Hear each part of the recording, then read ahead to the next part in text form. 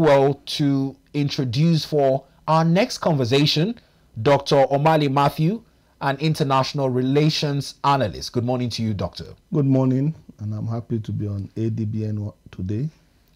Now, this morning, Doctor will be looking to give us more insights following the outcomes of the FOCAC 2024 summit with Nigerian focus. And this is also off the back of the Africa China relations with President Bola Ahmed Tinubu in attendance and the pledge by the Chinese president to invest more in the African continent. Now, Doctor, the current administration of the day had looked to highlight some of its policies in line with attracting foreign direct investments. Now, off the back of the Africa China summit and the amounts of sums that have been pledged by President Xi Jinping, how satisfied are you with Nigeria's focus on divestments in 2024?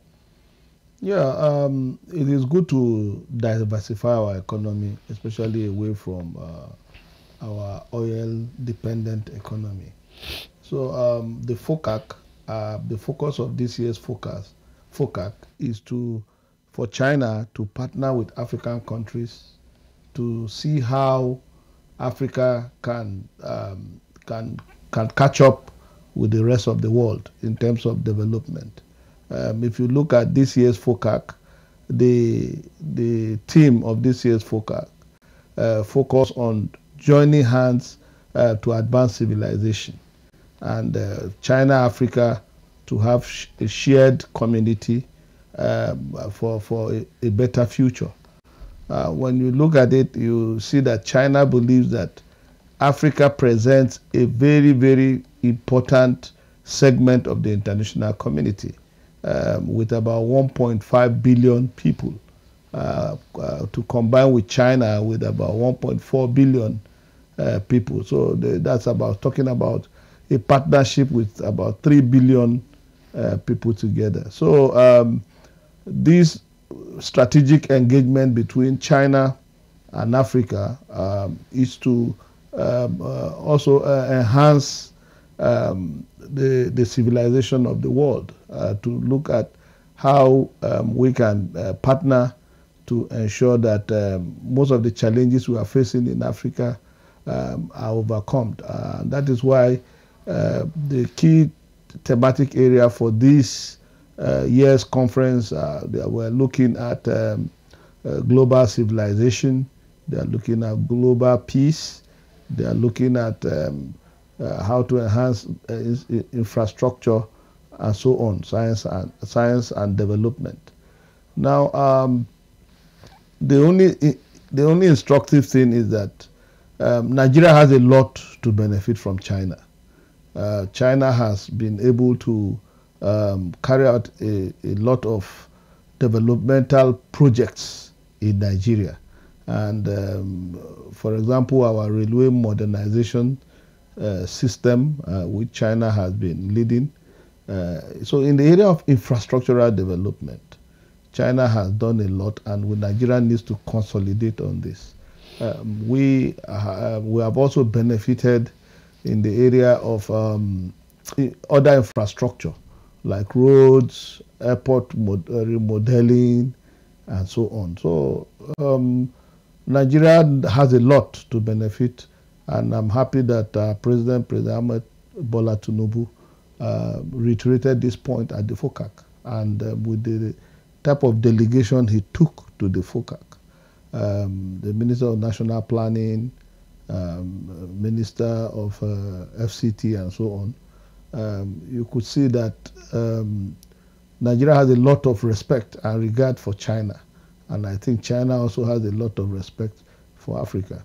Now, now, just to highlight someone on this delegation, and we did see the signing of a memorandum of understanding between the FCT minister and the Chinese civil engineering construction company, which has been, much like you said, very instrumental in uh, the construction of capital projects in Nigeria. Mm. That happened on Saturday in Beijing towards the end of the FOCAC. Mm. Many were asking the, the nitty gritties where some Nigerians raise an eyebrow of how much indebted we are to what many perceive to be a good fortune. Of course, $50 billion in the next five years to the African continent from China in particular, But persons are somewhat concerned about some of the moratoriums on the returns of this kind gesture.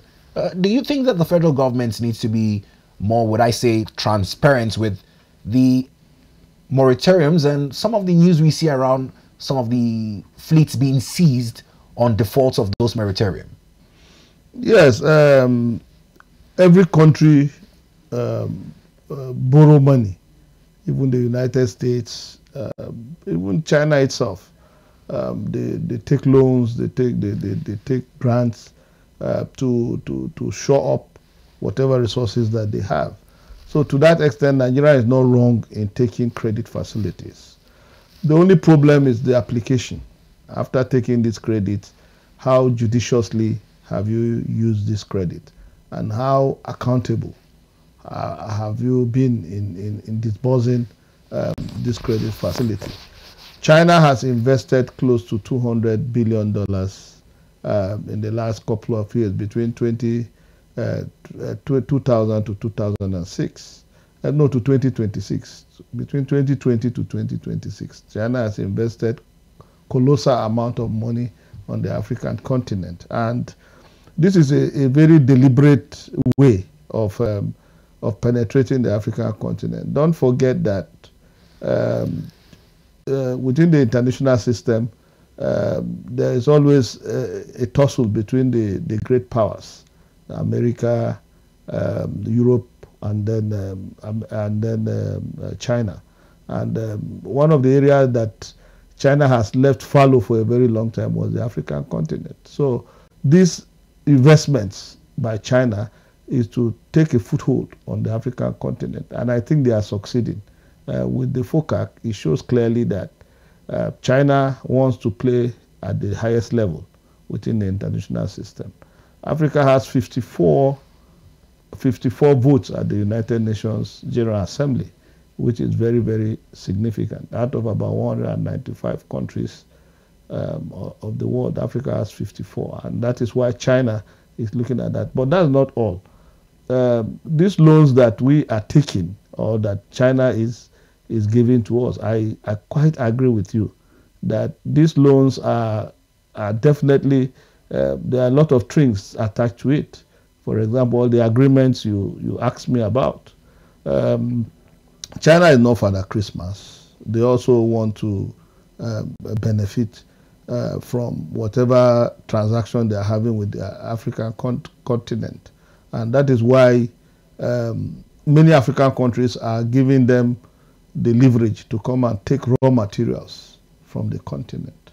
And um, whatever China is giving to us, they also want us to rub their back. So uh, the enabling environment is given to them to tap into our huge mineral resources in the Democratic Republic of Congo, in Nigeria, and several other African countries. Chinese companies are operating, uh, carried out their activities, mining, um, renewable energy, and so on. So um, it's not that, um, yes, I agree. Most of the terms of agreements have really not been very favorable uh, uh, to uh, to Africans, but better than the Bretton Woods institutions.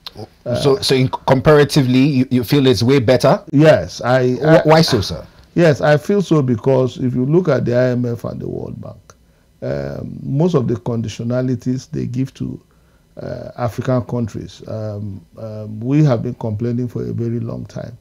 Um, a situation whereby um, you, you, you, you, you tie uh, many of these loans to um, you must you must import certain category of uh, products from uh, those countries. Uh, China is not insisting on those. Uh, China China prefers you to give them enabling environment to come in and um, and uh, and do business. They are not ready to give even conditions as much as human rights and democracy and so on that the West will want to impose on on our people. It is good. Uh, China is not interested in um, mingling in the internal affairs of most of the African countries. They are only interested in having strictly economic relationship. Now, in, in, a, in a bid to give a paranomic, uh, view of the 24 years that FOCAC has vested interest in the African nation, mm. would you say that countries have largely benefited more owing to these diplomatic relations with China across Africa as a region, other than some of the giants in Congo, Nigeria that have some of these minerals that are very interesting to the Chinese investment? I wouldn't say wholesale that um, the countries have benefited tremendously in one way or the other. Um, in Nigeria, we can all see the latent impact of uh, Chinese investments.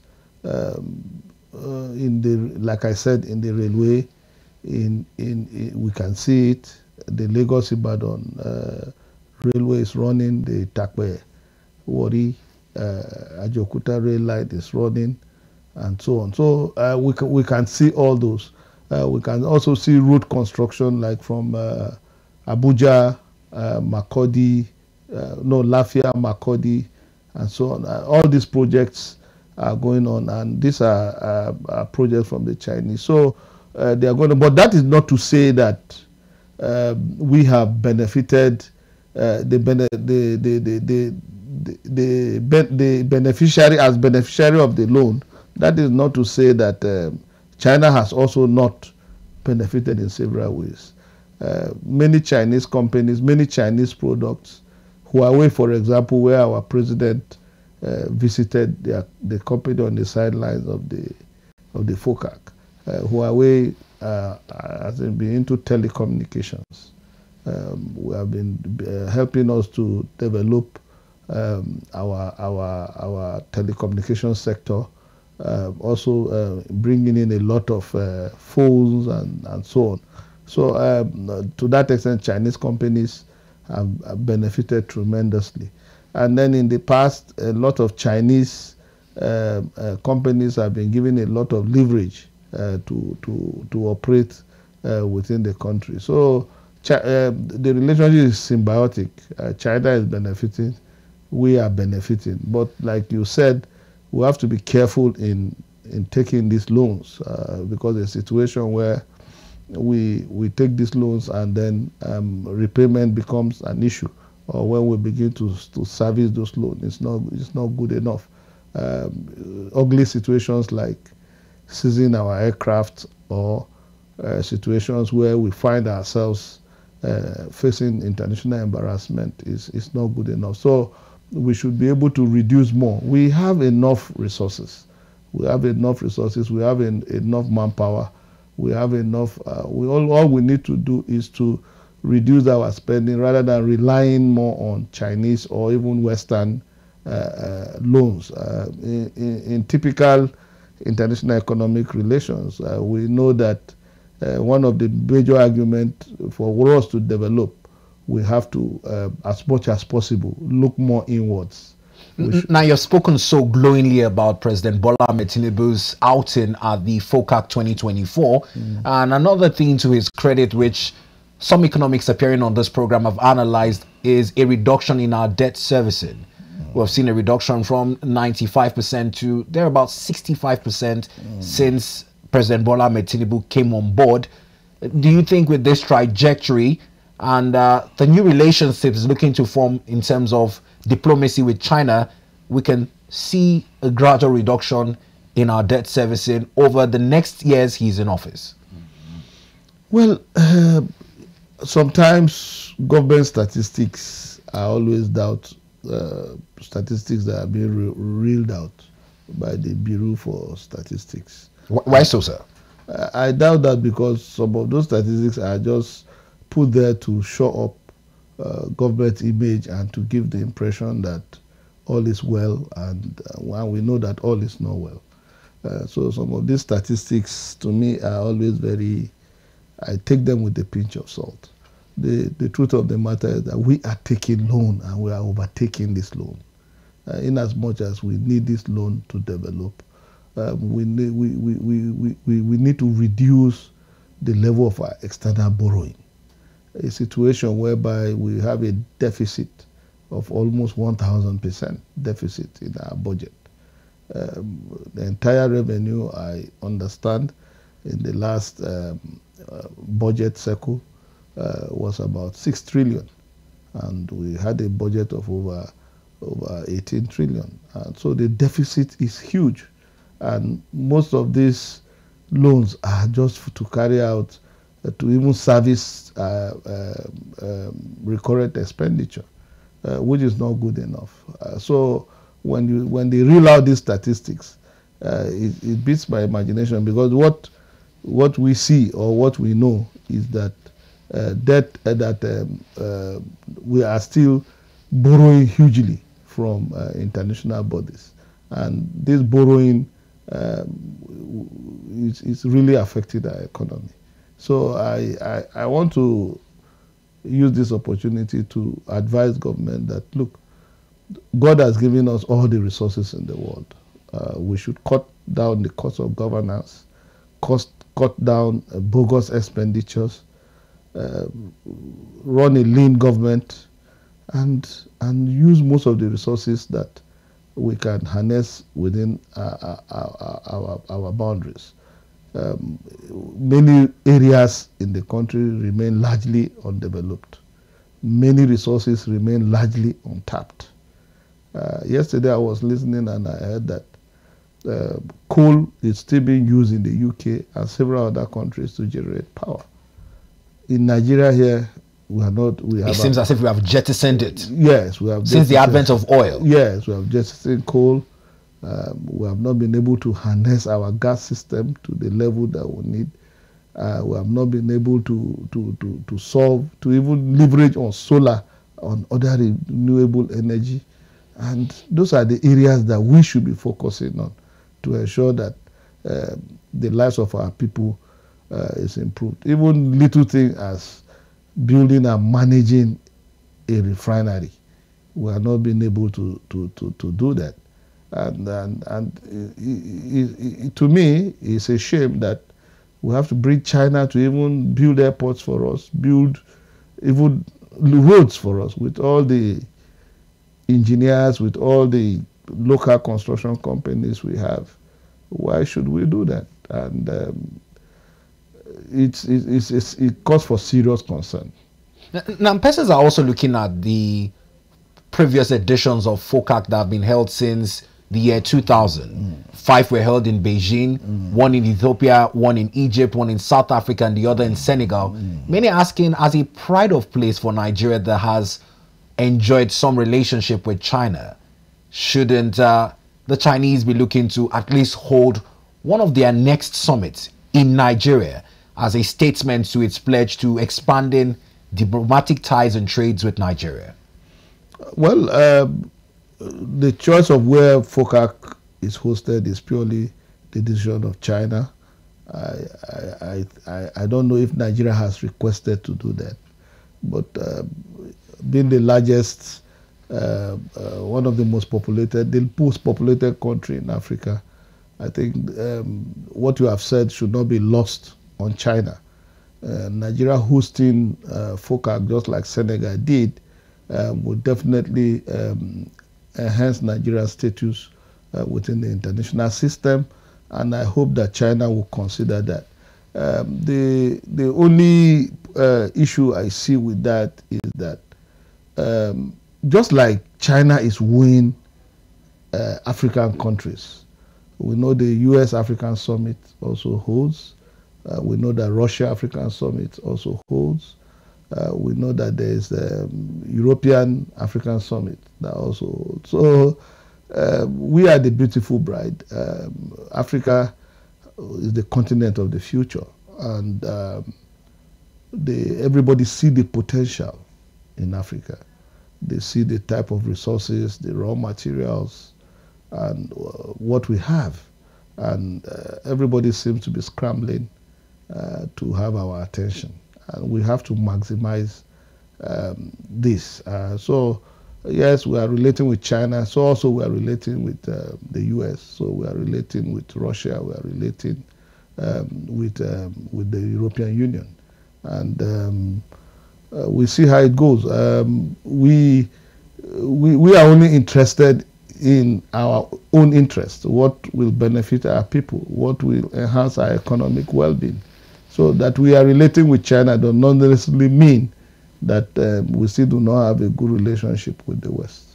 Now, another angle to highlight here, much as trade and diplomatic ties are important following mm. President Xi Jinping's pledge, mm. is the pledge of $141 million in military assistance to African countries. Mm. And it's coming at a time when Nigeria, particularly, is grappling with counterterrorism efforts, also looking to stem insurgency and other agitations in several parts of the country. Many are asking, other than have the monies injected into that fight, can there be a borrowing of manpower? Much like people keep citing when the US had to come and rescue one of their citizens who was kidnapped in uh, Nigeria and brought into Nigeria. Other than collecting the money and buying some of this unmanned drones that we've been craving for, can Nigeria diplomatically seek aid from such countries in tackling some of our insecurity challenges? Yes, uh, Africa insecurity is caused by so many problems.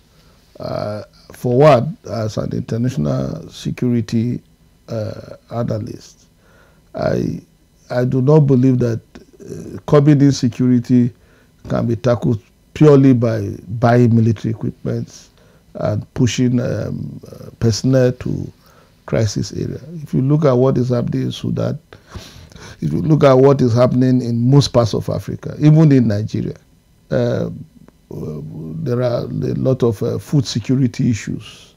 There are lots of unemployment issues. There are a lot of so human security is very critical in solving the insecurity in Africa.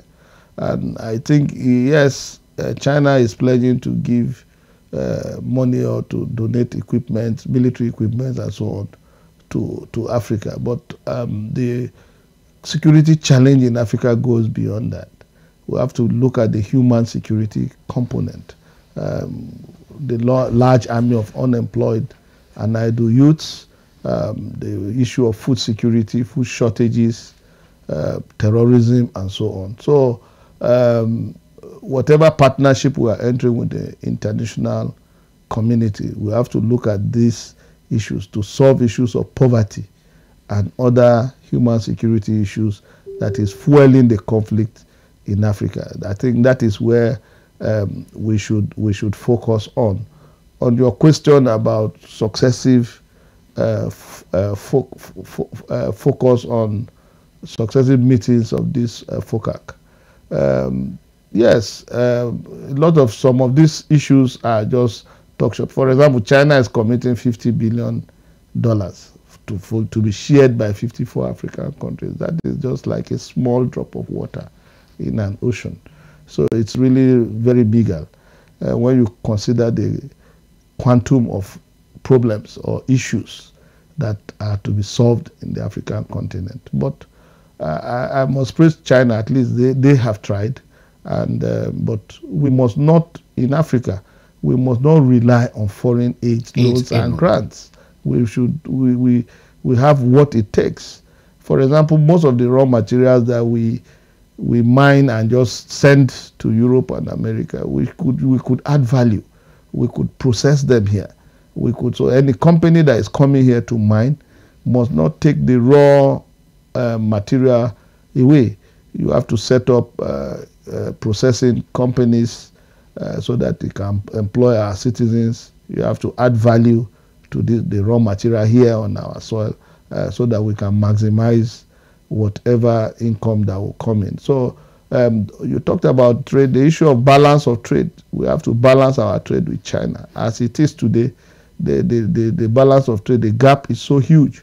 The trade um, um, deficit is in favor of China, and we must try to, to balance up. Uh, we supply them uh, crude oil, supply them um, raw materials like logging and, and so on, um, diamond, and, and other lithium now is the latest.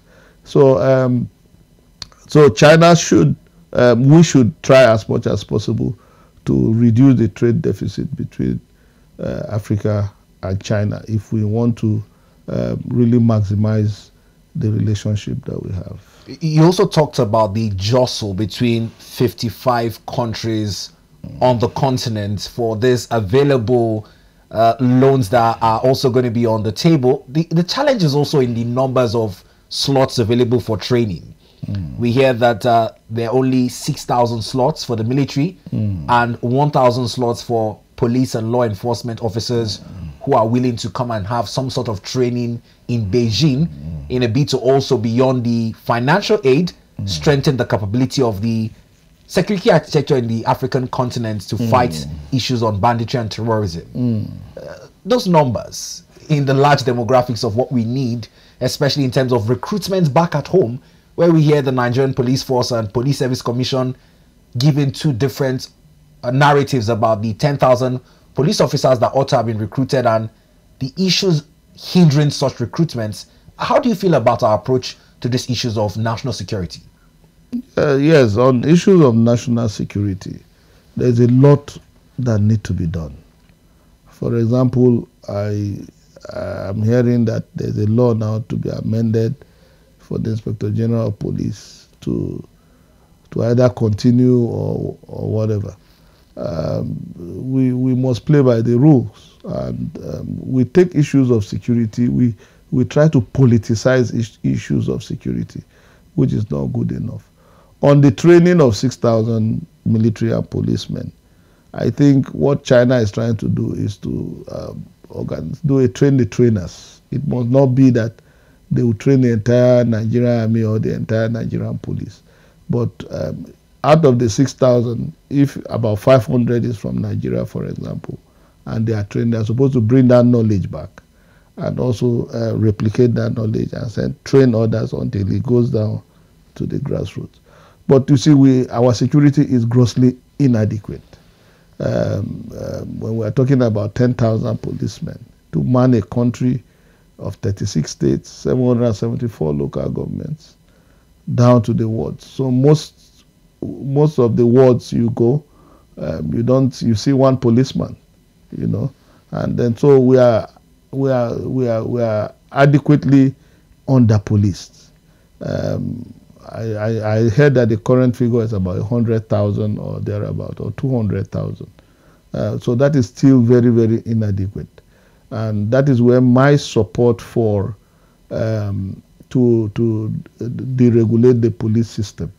Uh, I, I, support the state police argument because um, security should be local. Uh, we know the role the vigilantes, the multinational joint task force, and all the other quasi-security organizations have been playing. And, and they are also very important within the security architecture.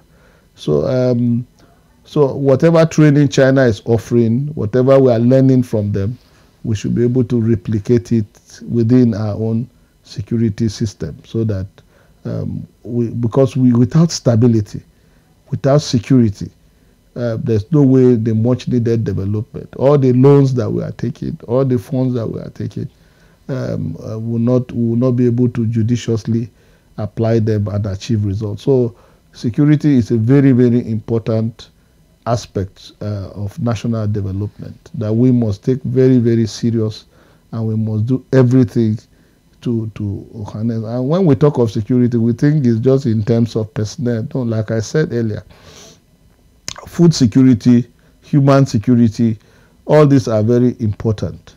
Uh, government must do something about um, about uh, the number of uh, unemployed youths that are lazing around. Employment certainly has to be tackled. Uh, the issue of unemployment has to be tackled. The issue of poverty, uh, uh, shortage of food. It is even worse now in Nigeria that Look at within the last one, look at the inflation level. Um, it's a threat to national security. Uh, you cannot sleep with your eyes closed now because of the, the, the, the, the level of desperation, the level of suffering that people are going through. Uh, so most people have resort to trekking. Most people, uh, so you, you discover that life is becoming very tough. Yes, in as much as government is giving assurance that all is going to be well within some time. But um, the citizens are really bearing the brunt of it. And um, you don't need China or you don't need the West uh, to tell you that uh, um, that the citizens are are really uh, suffering. Now, what why this connects to what we are discussing today uh, is because most of the policy that our government is implementing now. That is why I told you earlier. I say China doesn't get involved in policy formation, internal policy dynamics, unlike the IMF and World Bank. China does it, but the IMF will insist you must privatize, you must deregulate, you must uh, remove subsidies, you must do all this before we can give you loans. All these exorbitant conditionalities. Yes, yes. That is why I told you earlier that uh, the Chinese loan seems more amenable because of the stringent conditionality of the Bretton Woods institutions. So when when the Bretton Woods institution tell you you should go and remove subsidy, they are not looking at the multiplier effect, the immediate impact of this subsidy removal. They are not looking at what the damage it is going to cause to the economy. Uh, you know, and um, you, you, you advise countries to remove subsidy, and then you are not looking at um, the, the wider impact. Look at what has happened in this country. Somebody is earning uh, 30,000 as minimum wage, or the highest paid, let's say even the permanent secretary uh, is earning, let's say, uh, 400,000 or thereabout and then you, you remove subsidy and suddenly you are buying fuel at almost 1,200 liters. You are buying gas at almost 1,500 per kg. And then, uh, so where are you going to get the money? Where are you going to get the money when they pay, your pay package uh, has been wiped out completely? When you receive your salary within two, three days, you are finished spending it. So how is that person going to survive? I I went to buy um, augmentin tablet some the other day and they told me eighteen thousand. So that means it's for somebody who who is sick and whose salary is thirty thousand to just buy a pack of augmentin tablet at eighteen thousand. Uh, that has wiped out almost more than half of your total earning in a month. So government should be able to look at uh, this. Yes, we, we, we know that subsidy is costing a lot of uh, uh, uh, eating into government finances. But again, if we are going to remove subsidy, there is going to be the impact on our citizens. And never talking about removing subsidy here in Africa, some of the Western influences on our policies and advice from the likes of IMF and the World Bank mm. still have countries like America largely subsidizing food in their country. Yeah. Whilst here in Nigeria, the citizens are buying it at the forces determined by the market force. Mm. Uh, do you think that this advice is given indeed in the interest of government revenue other than in the interest of the citizens? Well, um, from government argument, it's in the interest of government revenue because government, what is the argument? Say you you you remove subsidy so that government can have a lot of resources to carry out uh, infrastructural development, to carry out to to enhance our economy, general economy. That is the general argument. But you see, these things don't just happen. You know, these things don't just happen. When you remove subsidy, and then you begin to spend the money recklessly on on things that do not even have direct bearing on the lives of the people, then uh, how does it affect the people?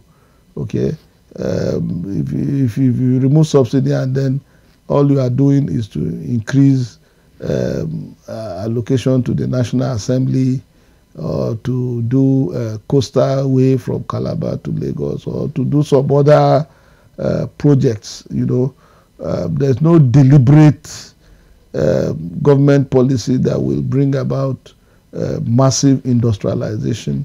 There's no deliberate uh, policy to bring about textile development, which was very critical to the development of the Nigerian economy in the 80s and 90s. You know, where you have the textile mills in Kano, in Kaduna, and, and, and, and Lagos, you know, you, where, where, where we, we bring out a lot of textile materials. There's no deliberate um, policy to, to enhance the automobile industry, like Steyr, like uh, Peugeot Automobile, like Volkswagen in the past, where we have those big, big, big, big in automobile industries that would have driven the economy. Now, with government diverting from all this, where are we? Even ordinary refinery, we, have not been able, for the past one year, subsidies have been removed. A lot of money has been saved. But even to fix even the refineries so that we can even refine our crude here, we are now resorting to relying on Dangote. So when you look at China vis-a-vis the the West, you have no option than to say, okay, at least the Chinese um, offering a better deal. Are better, offering a better deal than the West. And, and also listening to President Xi Jinping making his statement, it, it almost felt like a sentimental appeal when he spoke about the historical injustice that has been done to Africa, citing the opium wars and the signing of unfavorable treaties in Africa it's an appeal to the African nations somewhat to get past the wounds of colonialism and undue Western influences. But we see a difference in the approach between Anglophone and Francophone countries. Some of the Francophone countries are looking to even uh, remove France as the official language in what they call a decolonial drive. For these Anglophone countries, much like Nigeria, if we're to buy into what President Xi Jinping is preaching, how do we move past some of the negative effects of our colonialism and the advantages or gains from this broader romance with China? Yes, if you look at the underdevelopment and dependency theory, which is ordinary political science, uh, political economy, if you look at the argument, uh, scholars like Gunther Frank, Samir Amin, Paul Baran, you know, the, the, even the common one, Walter Rodney, they talked about the the devastating impact of colonialism on the African continent. Um, and yes, um, what Russia is doing and what China is doing is not totally different from the Western incursion into Africa. It's not totally different, but they are doing it in a more strategic way. Okay, they are they are doing it through strategic partnership and engagement, but essentially it is still the same. And what was the solution uh, by the underdevelopment and dependency theories? The solution is this: we must delink. We must we must delink and protect our economy, because if because the whole essence of relationship with the outside world, whether it's China, whether it is the Western world, is about trade. It's about market. Like I told you, Africa has about 1.5 billion people, and it's a huge market. And everybody, both the West, China, everybody is scrambling for these markets. They want to produce and bring to us to buy. They want to market their finished products. So um, in Africa, what are we producing?